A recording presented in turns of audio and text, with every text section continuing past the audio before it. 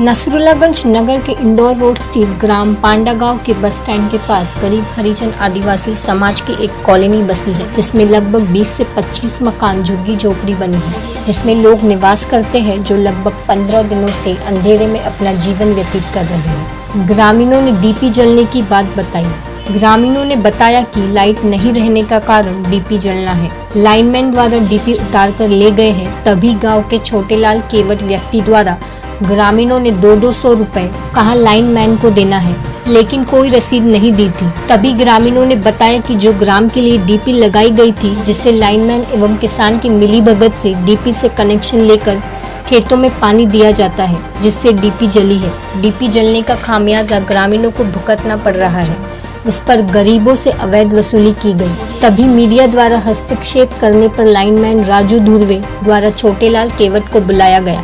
छोटेलाल द्वारा ग्रामीणों को उनके पैसे लौटाए गए। वही ग्रामीणों ने बताया कि लाइनमैन द्वारा एक एक हज़ार रुपए मांगे जा रहे थे।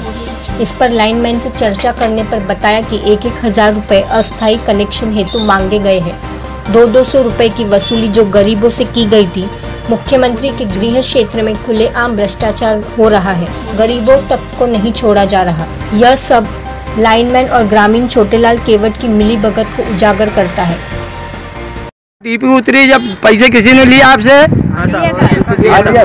कितने कितने पैसे लिए? किसने लिए? लैंड माइन लाइन मैन कौन है? किशोर है दुर्वे जी।